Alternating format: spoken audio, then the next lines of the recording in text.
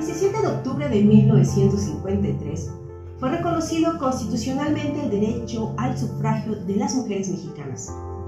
Estamos celebrando el 70 aniversario del voto de las mujeres en las elecciones de nuestro país, pero también estamos conmemorando todos aquellos acontecimientos, luchas y conquistas impulsadas por las grandes mujeres que nos antecedieron. Del ejercicio del voto fuimos pasando a ser votadas, primero a través de cuotas en la década de 1990 y después con el reconocimiento constitucional del principio de paridad en 2014.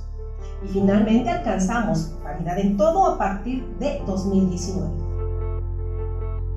Es un camino que ha transformado el rostro de nuestra democracia y que, sin embargo, enfrenta todavía el más grave obstáculo, la violencia política contra las mujeres en razón de género. Hoy, a 70 años del voto de la mujer en México, tenemos un marco jurídico amplio y garantista de los derechos político-electorales de las mujeres. Y un modelo de justicia electoral sólido y respetuoso de los más altos estándares de los derechos humanos de las mujeres. Ya iniciamos el proceso electoral concurrente 2023-2024.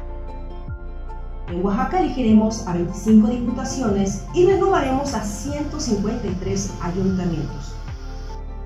Desde el Tribunal Electoral del Estado de Oaxaca propugnamos por un proceso electoral democrático, en donde la ciudadanía exprese libremente y en paz su preferencia.